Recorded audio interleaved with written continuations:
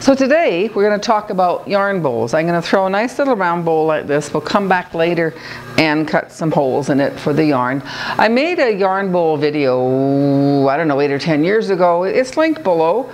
If you want to have it, check it out that one compared to this one. Let me know which one you like better. I haven't watched it in years, so maybe I should watch it before I say there's a link. But anyway, it'll be there. So I've got this ball of clay centered, as I said before a hundred times. You don't want to watch me center clay. So I'm just going to open it up like I would any other pot and pull my finger to the palm of my left hand left and right go up together. I'm going to start pulling the walls.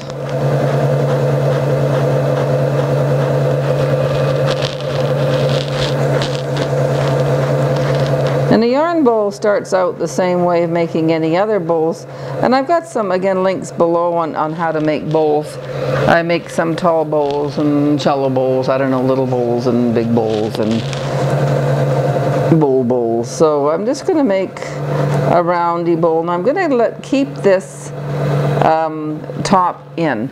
I don't want it to go out like a bowl because I just think that the rounder form holds the ball of yarn in better. I'm not a knitter. You can tell you can let me know in the comments below if you're a knitter and the rounder form is better than the open. I'd like to know actually. okay, so I'm going to open this up and my fingers are just working straight across from each other. They're just kind of dancing together. And then I'm going to give it, I like that little definition thing at the top. It just kind of comes up and says, I'm done. I like it when a pot comes up and says, I'm done. There's a finished top on it, not just kind of a wishy-washy run out of clay top. So just going to give that some definition. It's going to say I'm done. I'm going to round it off a bit. You can use the stick if you like to go in there. I like to use this big rib. I do have a short on how to make your own rib. Again, check it out below. so you can learn have all the measurements how to make your own rib. So there's the start of your yarn bowl. It's a little bit different than this guy. That's okay. We'll come back tomorrow. We'll cut the fancy foot on the bottom. I'll put the holes in it and I'll show you when they're dry how to tidy it up. So anyway, we'll stop here and I'll see you tomorrow. I threw the yarn bowl yesterday and I'm back today and I'm going to tidy it up and make it look like a yarn bowl. I'm going to trim the bottom and just put a nice little foot on there. I like to have the bottom look just as tidy as the top.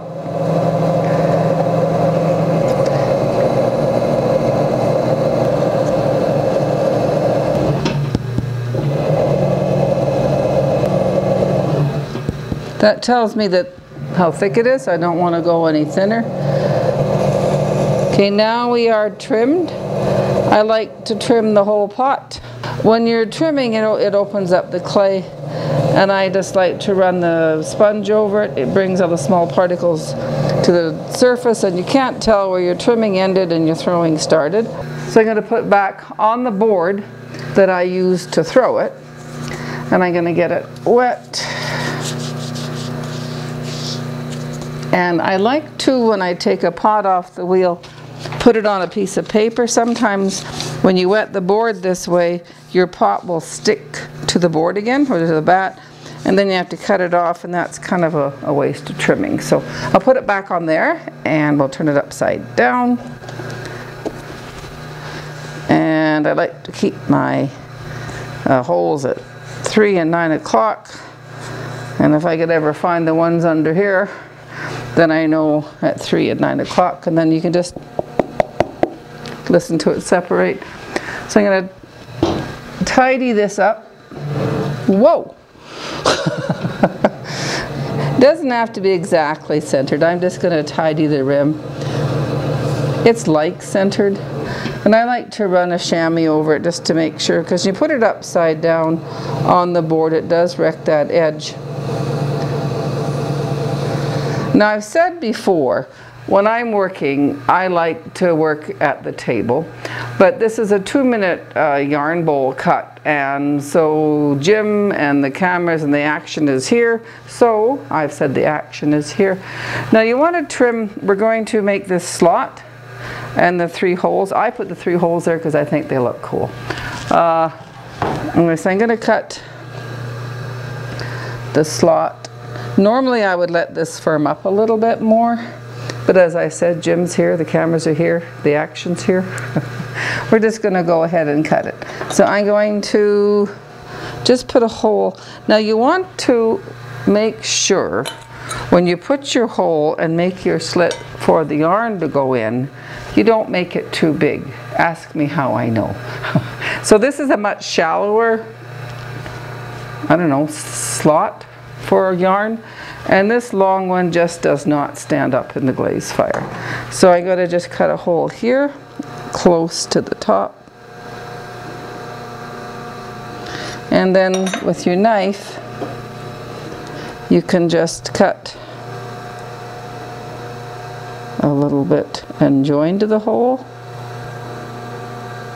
and a little bit over here. Notice it's not a really deep slot. And now I'm just going to put those three holes in there because I think they look kind of cool.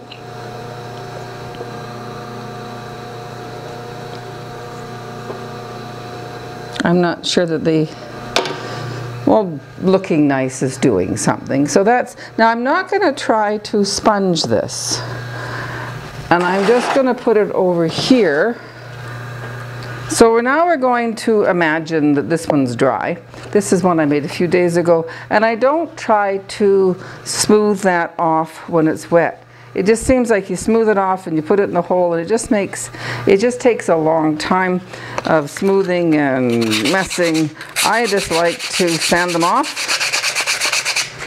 I find it's a lot faster. You can sand the inside. Be careful, this is fragile. You can break them off. Ask me how I know. Anyway, so I'm just gonna, I'm not gonna take a lot of time, so you sand this off till it's tidy. And I'll show you one little trick on getting that round is you roll up your sandpaper and